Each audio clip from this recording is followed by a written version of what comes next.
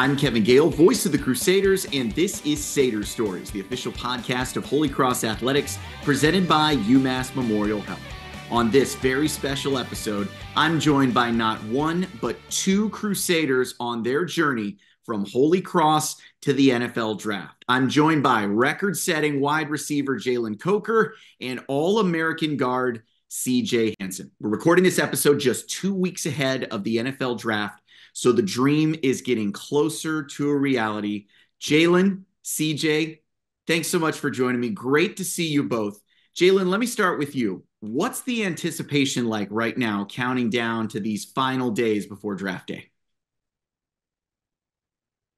You know, it's uh it's good. You know, it's a good problem to have. You know, I'm uh worked really hard. Me and CJ both have worked really hard to get to this position, you know, and I feel like we put in all the work and everything that's been asked of us to, you know, demonstrate why we deserve to be playing at the next level. And I feel like it's just, you know, a, the bulk of the work's done.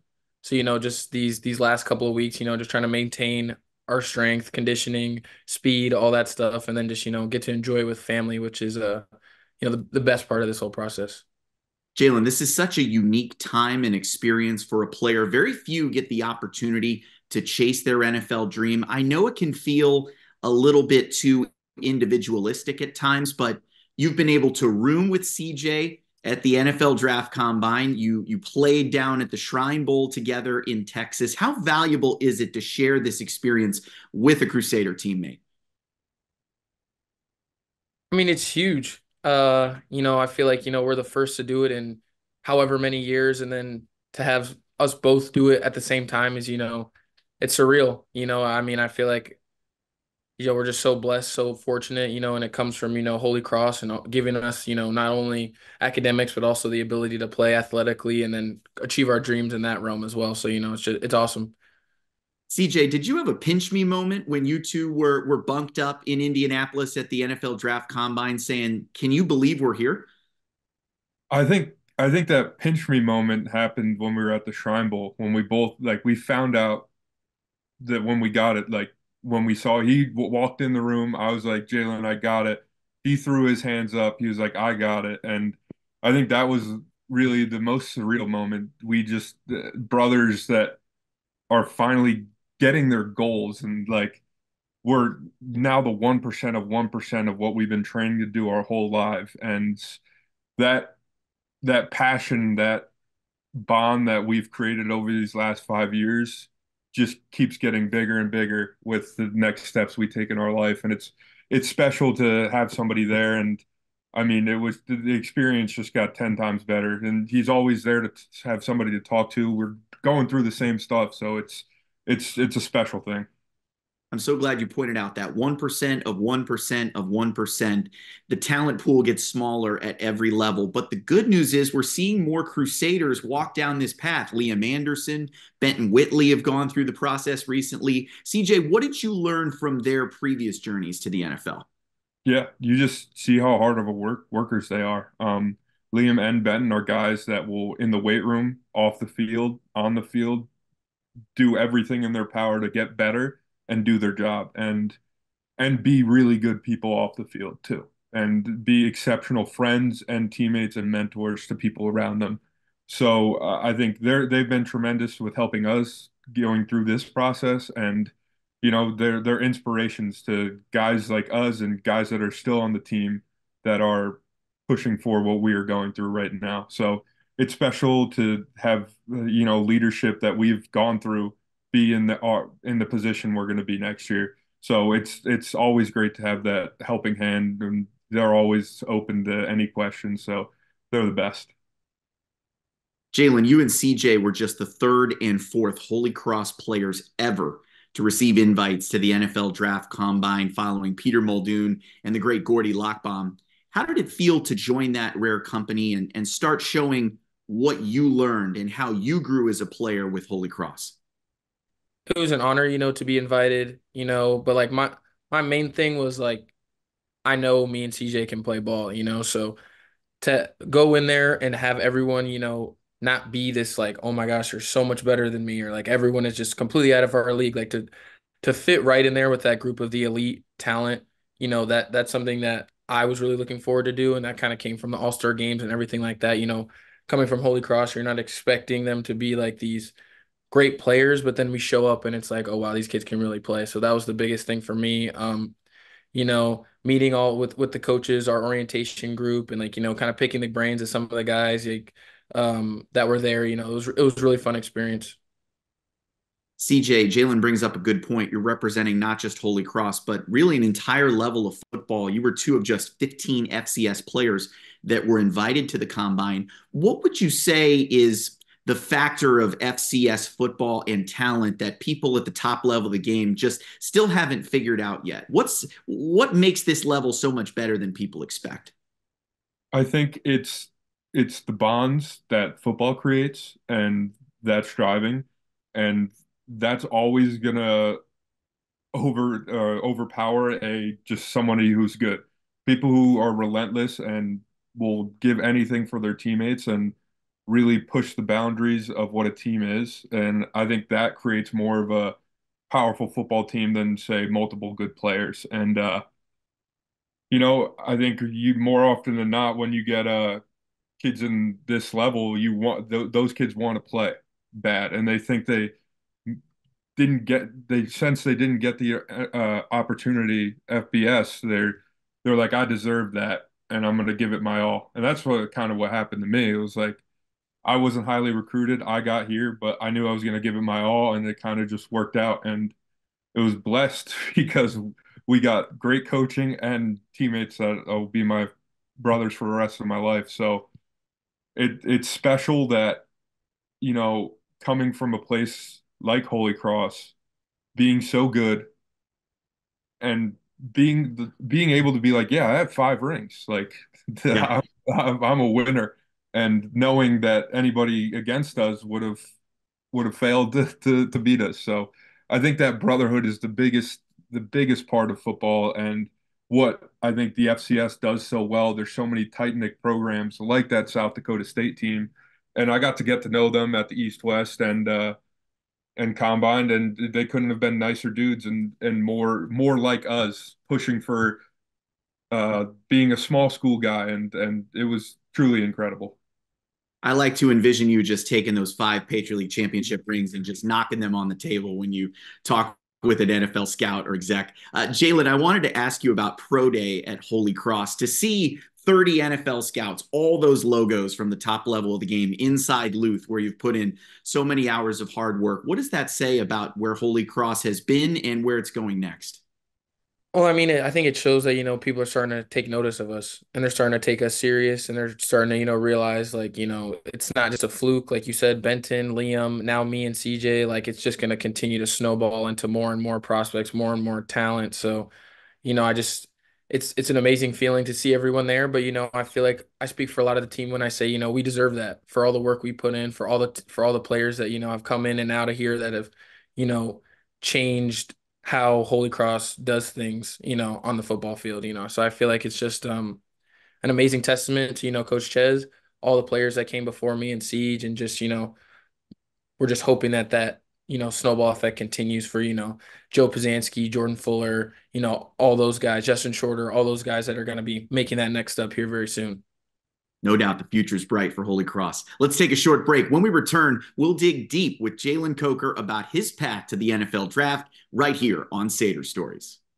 We are UMass Memorial Health, and innovation is something that defines us that drives us to discover new ways to provide answers and hope, to provide opportunity and access and equity for everyone, to redefine what medicine can do and how it can heal relentlessly.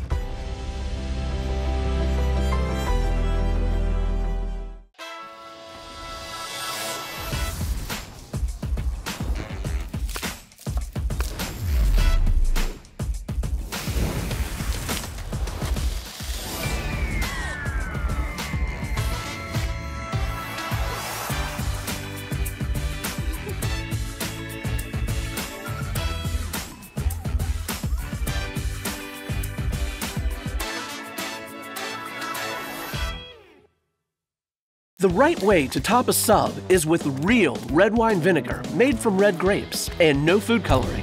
And the right way to film it is in slow motion. Obviously. Because authentic ingredients make a sub above. Leadership and excellence. In competition, in the classroom, in the community.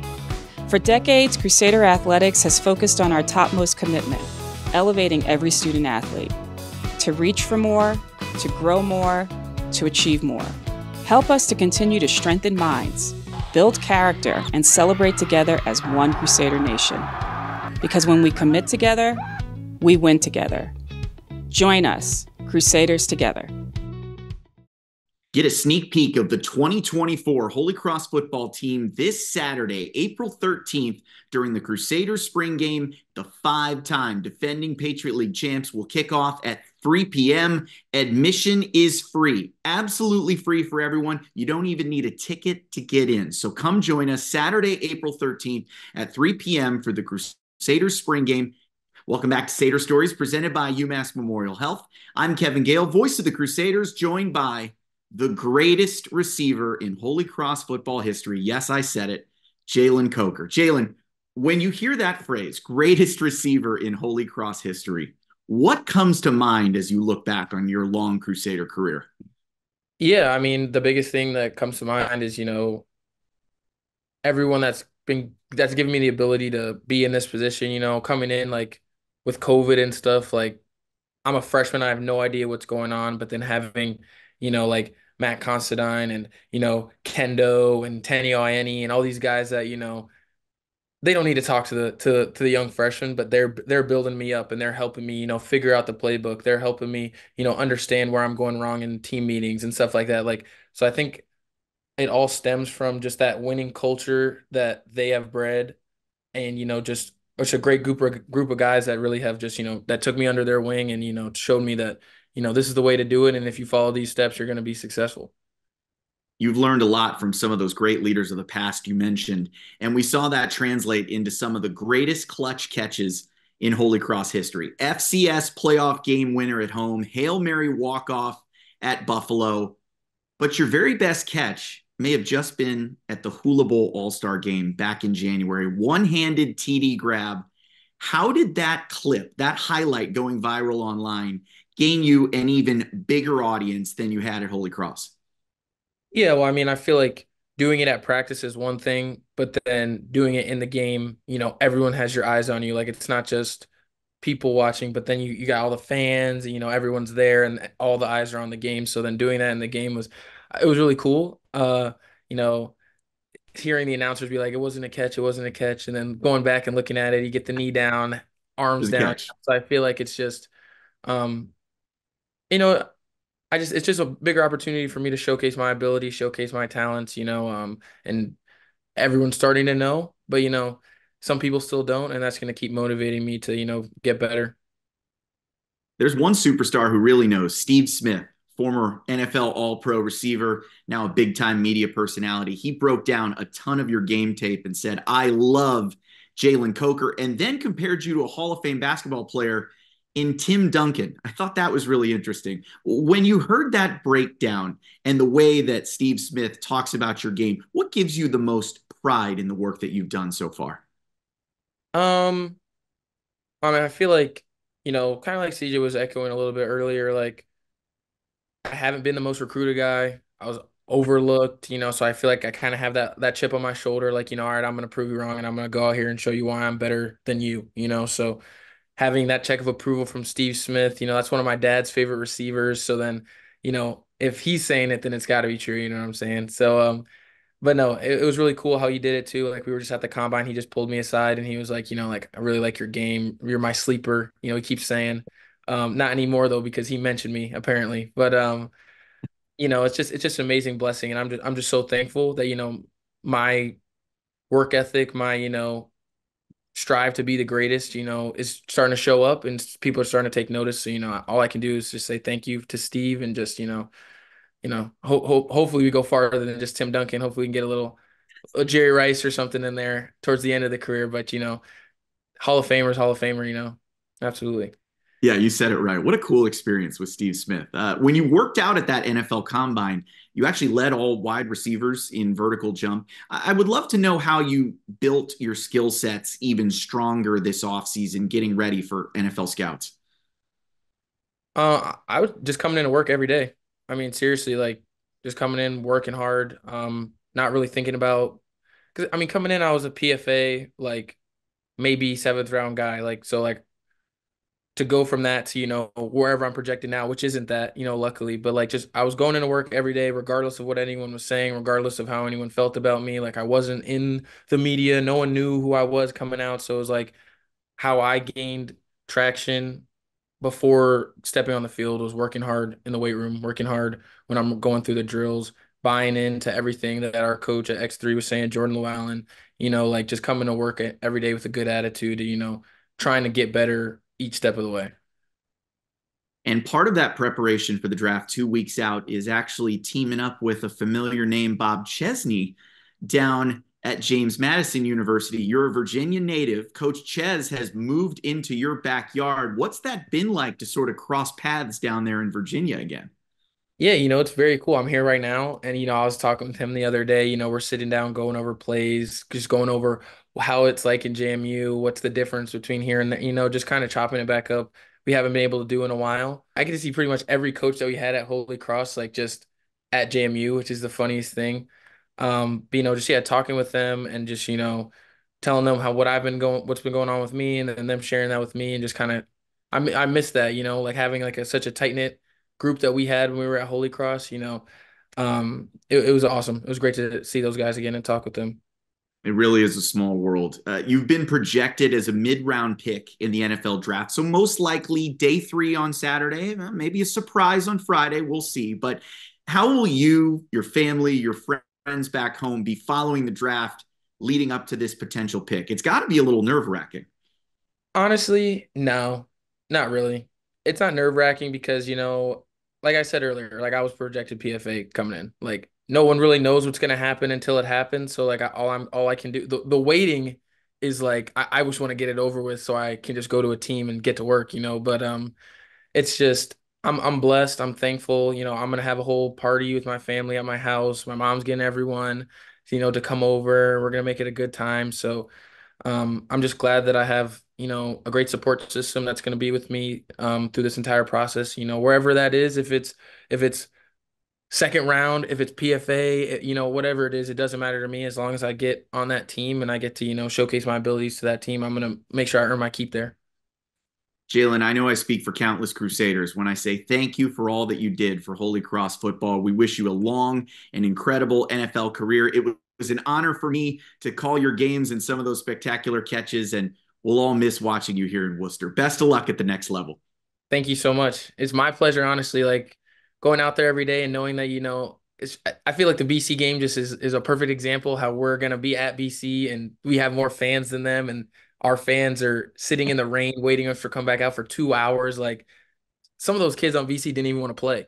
I bet our fans would have threw the pads on right then and there and hopped out on the field, and you know what I'm saying. So I feel like just playing for that, you know, crowd every day, whether it's home, away, didn't matter. Like it was really easy for me to go out there, you know, give it all I had because I knew that uh, the amazing community that we've built here, that's been here, has will always have our back. So, absolutely, thank you.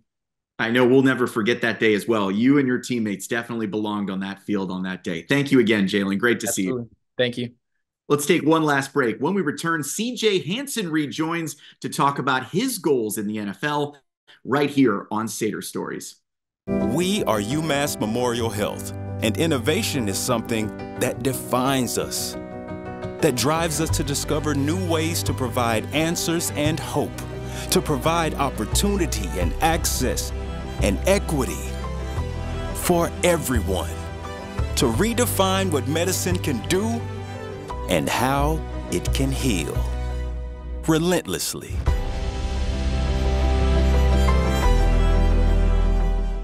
Many financial advisors are commission based advisors that work for a bank. At Car Financial, we work for you. Our primary focus is helping our clients achieve their goals. You worked hard in your career, you've earned your retirement. Now let us show you how to make the most out of what you have. We're here to answer your investment, retirement, income tax, and estate planning questions. Through every stage of life, we're here for you. Call us at Car Financial Group today. The right way to top a sub is with real red wine vinegar made from red grapes and no food coloring. And the right way to film it is in slow motion. Obviously. Because authentic ingredients make a sub above. At Fuel America, we've created a place for people to gather, to share their stories. We are a destination, and we are a starting point. Because Fuel America is not just our name, it's our mission. Holy Cross football season tickets are available beginning April 11th. Secure your seats at Fitton Field to see the five time defending Patriot League champs all season long in 2024. For more info and to see the best membership options, visit goholycross.com slash tickets. Welcome back to Sader Stories presented by UMass Memorial Health. I'm Kevin Gale, voice of the Crusaders, joined by Holy Cross All-American offensive lineman CJ Hanson. CJ, for players at the skill positions, it's easy to point to all time greats Tom Brady, Jerry Rice, Barry Sanders. When you dreamed of becoming an offensive lineman in the NFL, who did you look up to as a role model? Oh, that's a hard one. Um, I mean, obviously Jason Kelsey. Uh, he's a guy that has been doing it for so long, and you know, he's the greatest to ever do it. And now he's such a social media personality that it's kind of all fell that way. But any old lineman in the league that that does their and is at the top of their game, I mean, I'm I'm in love with. But I would say him, Quenton Nelson, all the big names, uh, everybody basically. I just I literally watch the O line when I watch NFL. So I mean, I'll take anybody who's doing their job really well. I think more people should watch the line play in the NFL because I don't think the average fan has any idea how incredibly fast and strong NFL linemen are, regardless of their size. You've been called one of the most athletic offensive linemen available in this draft. But when we were talking off air, you said it was actually your intelligence and your football IQ that you picked up at Holy Cross that's really starting to stand out in these NFL team interviews. How do you feel like that's paying dividends now leading up to draft day? Yeah, it's it's incredible. Uh, I mean, I'm just so prepared, and and most of it, most of it's just uh, memory retention. And they give you a play, you teach it back to them after 15 minutes of doing something else, and you know, being able to complete those in such a way, I think it's just a testament to what my study habits, my time management skills, and my compartmentalization in my in my brain has done at Holy Cross. And uh, I'm lucky to be in the position I am and be able to do that. But not only to the education at Holy Cross, but my coaching. And uh, I met with a met with a former GM uh, doing like interview prep for the combine and when I told him Coach Smith went to the Giants, he was like, "You have to say that to every single scout. To know wow. that your coach of four years is at that level now means that you're like that. It makes sense. Like makes sense why you're going to the league because you already your coach is already there. So if you followed him, everything he said, you should be there. So I mean, it, it's special that I had the coaches that I had, the education that I had." It's all just helping me out and it's super beneficial. And the one thing that's the craziest thing to me is the amount of Holy Cross people that I've met in the past two months from teams, from any anywhere, I or people that know people that went to Holy Cross. It it is incredible. Half the Giants staff is from Holy Cross, and then you lost one when Coach Smith left. But I mean, I'm just I'm meeting people, and it's it's been awesome. Coach Smith, one of the all time great leaders on a Holy Cross offensive line, now reteamed with Coach Chesney down at JMU. But the Holy Cross thread is still strong. And these job interviews really do demand a lot of football intelligence. I think a lot of people think you throw up some game tape, you say, that's a guy we want, and then you bring him into training camp. You're learning pretty quickly that you have to interview for a job just like an accountant, an executive, anybody going out into the wanted ads.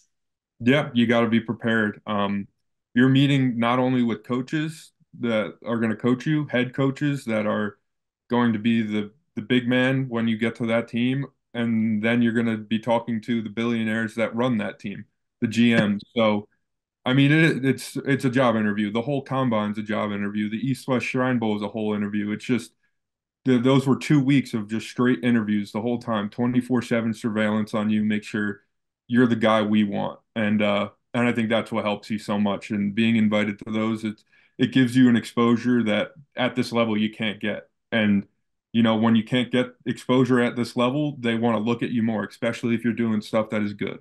So I think that's why me and Jalen were put in a good spot. Uh, our mentalities and our work ethic, the five years here, translated into the East West Shrine Bowl very well, and a lot of people liked liked what they saw. So I think uh, it was tremendous, and those job interviews did nothing but help us. So.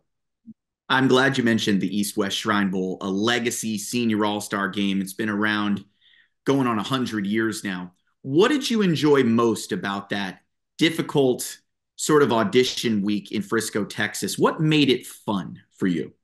Yeah, I think the biggest thing is playing with other people and playing against bigger and better people. Um, playing against guys you watch on TV, uh, simply put it. And, uh, you know, for me, I think one of the biggest things for me that I had a lot of fun with was playing with those South Dakota guys. And, uh, you know, they ended our season twice, a little bit salty about that. But, uh, you know, they were just such excellent dudes and phenomenal players. And I think on our starting offense, we had like six or seven of us from the F, uh, FCS, and we scored five out of our six drives. So it just it, it just showed that you know it doesn't matter. It, it doesn't matter. We're we're gonna it, who wants it more. That's that's what it was, and you could and you could tell in those games that those FCS kids wanted it more, and uh, I think that was one of the big special things. But I think the biggest special thing about the Shriners Bowl is the Shriners Children's Hospital and being able to interact with those kids and you know playing for something bigger than just football. And i think that's always what football should be. You know here we had holy cross that pride behind holy cross that the the team bonding we had like everything around it it's playing for something else. And that's what the shriners hospital did playing duck duck goose with those kids for an hour just you know, it brings a smile to your head and you leave the earth for a little bit and you're just, you know, you're with, you're in the moment. And it was such an incredibly done and it was a great time and it, it warmed my heart 100%. And uh, I would love to continue to help them out whatever I can. So it was, it was special. Serving a greater good. And I'm sure you'll have more opportunities to make a difference when you start playing on Sundays. Um, when we were talking previous, you had said that your junior year of high school, maybe you didn't get the opportunities that you expected. It may have limited your college choices, but in the end, it almost felt meant to be that you ended up at Holy Cross where where you can really have it all. Can you put into words how well prepared you are for this moment thanks to Holy Cross? Yeah, I think I'm I think I'm 100% prepared. Um, the people that I I think the first place where you where I want to start is the people I have behind me that are in my circle that are willing to help me out at any time. Of course, I have my mom, which she's the best. She's the saint. She does everything. Been team mom for Holy Cross for the last five years. She wants it more than I do at this point. This place has given me also so much. It, it's it's prepared me so well that the care, not the, the the worries aren't there. Like I don't worry about when the draft comes around. I'm gonna have everybody there with me, and it's gonna be great no matter what. And uh, I'm prepared for what comes next because I know through the last two months of training, being around people, I know I have an edge on some people. I know I, I know I can do more to get better, but I know I'm gonna be able to do it quicker than most people. And lastly, CJ, I've got to ask you to take us maybe five or 10 years into the future. We know Jalen's position, he's going to be catching passes.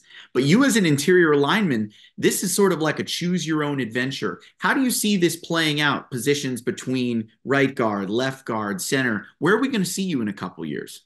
Yeah, hopefully, hopefully starting uh, and uh, anywhere. Um, I would play for any team at any position. Uh, I'm intrigued by center. I like being a leader. I like being the leader of offensive line. Uh, I think it fits my personality well, just being who I am. But I know I have to take steps to get there, and I that's what the NFL team will do to me. But um, it's all exciting, you know, being able to say, oh, "Yeah, I'm an NFL athlete. I'm going to be blocking the best in the world. I'm going to be blocking huge people. I'm going to be blocking for huge people. I'm going to have a guy that gets paid hundreds of millions of dollars behind me, and I'm the reason he doesn't get hurt.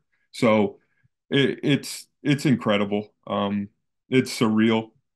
I always had the little thought in my head that I was going to be here, but you never like it never it never really hits you. I don't think it will hit me until I'm on a team. I've been kind of just floating through space for the last two months, just getting one objective done after the other, and uh, I think that's what Holy Cross prepared you for. You know, the future holds all.